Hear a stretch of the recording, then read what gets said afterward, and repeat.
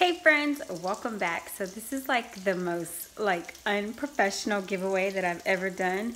But seeing that I bought this gift card on Sunday and I forgot to do a video for it, blame it on the pregnancy. I have a $20 gift card. Hold on, trick-or-treaters. Uh, hold that thought. It's Halloween. Trick or treaters.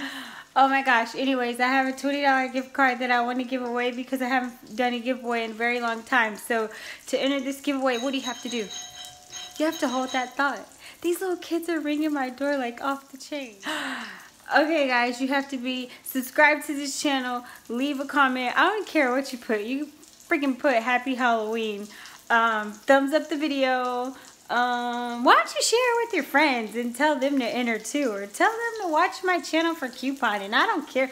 Actually, your family and your friends too, because you know they be coming to your house and be trying to get your stuff for free. Teach them how to coupon so they ain't got to be taking your stuff for the low, low free. You know what I mean?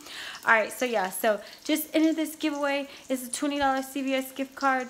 I promise you $20, go, $20 goes a long way at CVS especially when it's about to be the holiday shopping. So you can get a lot of Christmas presents with $20 at CVS. So if you have nieces or little girls or anybody you want to get makeup to, all those gift sets, whew, this mama is out of breath.